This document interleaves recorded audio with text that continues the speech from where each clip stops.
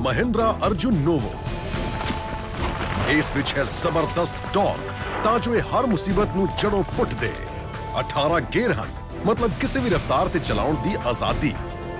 ਇੰਨਾ ਦਮ ਹੈ ਕਿ 2200 ਕਿਲੋ ਵੀ ਆਰਾਮ ਨਾਲ ਚੁੱਕ ਲੈਂਦਾ ਹੈ। ਇਥੋਂ ਤੱਕ ਕਿ ਆਪਣੇ ਆਪ ਨੂੰ ਵੀ।